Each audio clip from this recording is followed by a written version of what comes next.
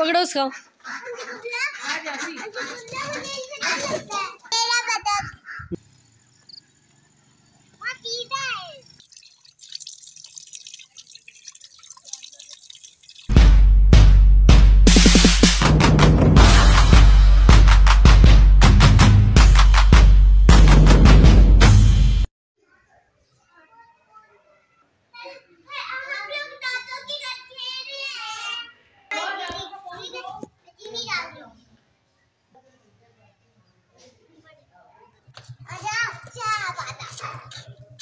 Blog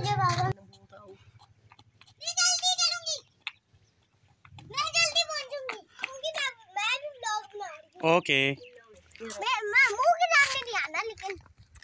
वाह। इधर देखो।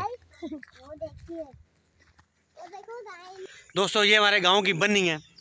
वाटर पाउंड है। बारिशी पानी जो है वो इसमें जमा होता है। आप देख रहे हैं कि भैंसें जो है वो पानी में उतार रहे हैं। गई भैंस पानी में। वहाँ पर होता है। आपने सुना तो होगा ना? हमने बचपन में देखा भी हुआ है। पैसे ऐसे पानी में जाती है। जानवरों के लिए पानी का इंतज़ाम है। फर्दर मोर ये कि ये पानी जो है वो जेर ज़मीन पानी की सतह को भी जो है वो बुलंद रखता है। हाँ, बाबा। ये देखो ना यहाँ पे पहले हमारी बच्चे रहती थी गाँव हम बच्चों को यहाँ पर लेकर आते थे आपको याद है? हाँ जब मैं वन साल की थी ज़ीरो साल की। अच्छा और दुआ आपको याद है? हाँ याद है। मुझे भी याद है।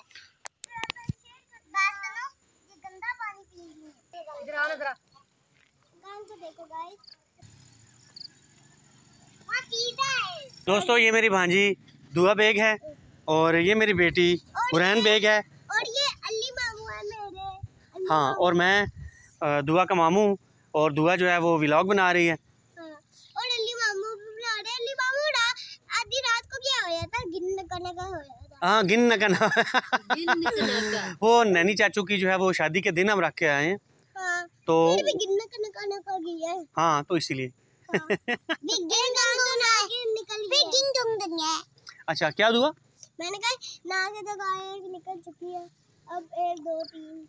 हाँ। ये गाय की नाक तो निकल चुकी है अभी थोड़ी थोड़ी बाहर आ रही है। गोबर गंदा है। कुछ होया भी नहीं है देख लो।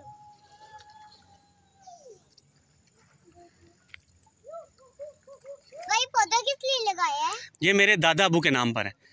हाजी मिर्ज़ा फैज़ रसूल उनका नाम है ना? जैसे आपके दादा अबू है ना मेरे बाबा ठीक है? तो ये आपके दादा अबू के ये बाबा थे। आपको समझ आया कुछ? आपके भी ये परदादा हुए ना? हाँ। ये वाला पौधा जो है ये फिर ये हाजी मिर्ज़ा फैज़ रसूल के भाई थे मिर्ज़ा मोहम्मद हनीफ। ये भी हमारे दादा ही हुए। अच्छा। हाँ। फिर नहीं नहीं ये भी आपके परदादा हुए ना। जितनी देर में भाई हम दादा अपने घर की चाबी लेकर आते हैं हम लोगों ने सोचा कि बोर्ड के नीचे बैठते हैं जाकर ठंडी ठंडी छाँव का मज़ो लेते हैं। तो खाकान दुआ और हुरैन ये तीनों को मैं ले गया। बोर्ड के नीचे बोर्ड के नीचे हम सबने बैठ कर बड़ा इन्जॉय किया। बहुत ही सुहाना मौसम लग रहा था परिंदों की आवाज़ें आ रही थी। और बच्चों के लिए तो ये बहुत ही अजीब चीज़ थी कि गाँव में एक ऐसा मंज़र कि जो उन्होंने शहर में भी कभी नहीं देखा था वहाँ से पीते हैं कहाँ पर गाँव के लोगों ने मिलजुल कर बन्नी को बहुत ज़्यादा मैनेज किया है। एक तो बैठने की जगहों का इंतज़ाम किया जा रहा है, दूसरा एक बाउंड्री वाल तमीर की जा रही है ताकि इसके जो किनारे हैं, वो पानी से जो है वो डैमेज ना हो। किसी दौर में ये बन्नी, ये पानी से फुल हो जाया करती थी। अभी भी पानी को बहुत ज़्यादा जो है मैनेज करके एक बन, इस बन्नी तक लाया गया है और जैसा कि आप देख सकते हैं कि पानी की काफ़ी मकदार इसमें मौजूद है। ये जो बोर्ड का दरख्त आप देख रहे हैं, ये तकरीबन सत्तर से अस्सी साल का, अगर मैं गलत नहीं हूँ, है। अगर कोई मुझे करेक्ट करना चाहे तो प्लीज़ कर सकता है। थोड़ी देर बोर्ड की छाँव में बैठने के बाद हम लोगों ने विज़िट किया कब्रिस्तान का वहाँ पर फातह होने की। हुरैन कहती है कि मुझे जूस पीना है लगा बात है कब्रिस्तान में जूस का कोई ठेला तो नहीं लगा होता लिहाजा मैंने हुरैन को कहा कि यहाँ पर साफ़ पानी का नल लगा हुआ है आप उसको खोल कर अपनी प्यास बुझा सकती हैं। दुआ ने हुरैन ने और मैंने इस साफ़ पानी से अपनी प्यास बुझाई तो दे रखूँगी ना उंगली पे आ जाएँगी देखो मेरे पास आ गई।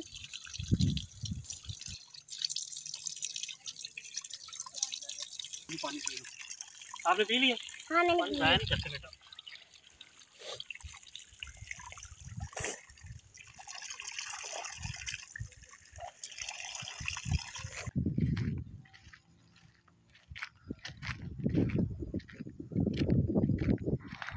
चले बेटा चले बाबा मैं इनको तोड़ रही हूँ और संभाल रही हूँ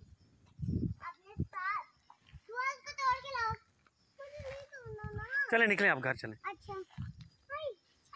प्यारे हैं। क्या चीज़?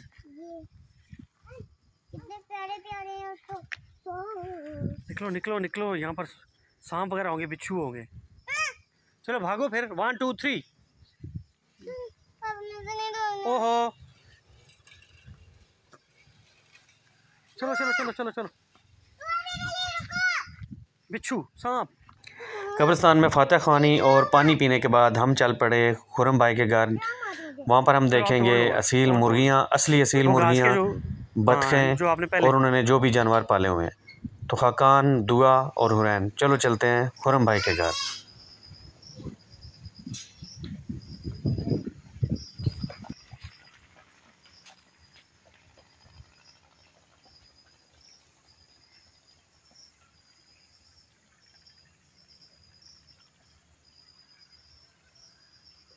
लो जी असि भाई सुरम ने घर आए बसा देखो। वाह वाह, माल नगर।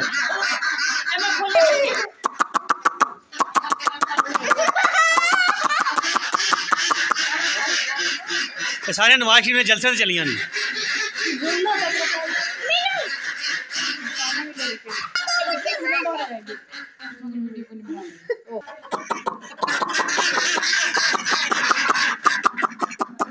ये देखो बतखें हमारी हमारे पास आ गई।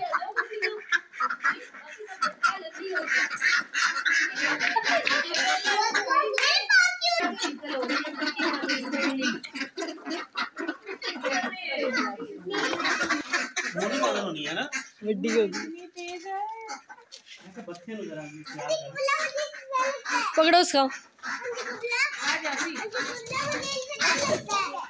ये भाई खुरम कस्टडी जा गया जनाब ट्रेनिंग हुई है इसमें कंगफू मास्टर बन गया फ्रेंड आपने पहचाना ये क्या चीज़ है? मेरा बचा। खगन अब अब इसको छोड़ो जरा। One two three